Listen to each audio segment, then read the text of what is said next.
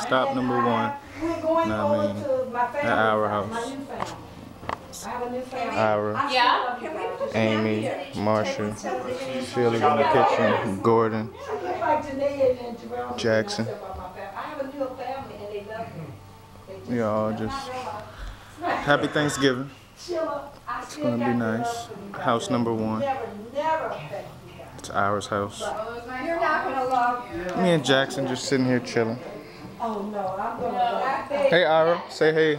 Hey, happy Thanksgiving Happy Thanksgiving. to all. to see the baby till a year because they with you and.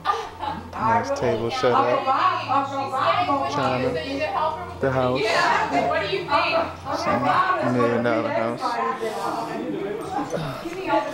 Oh no, I'm a baby. I'm moving to because Dad said that you'd be great, that you're used to it. That's, Yeah. that's You raised Amy lots right of there. babies. What's up, Marsha? What, you don't wanna And Slava.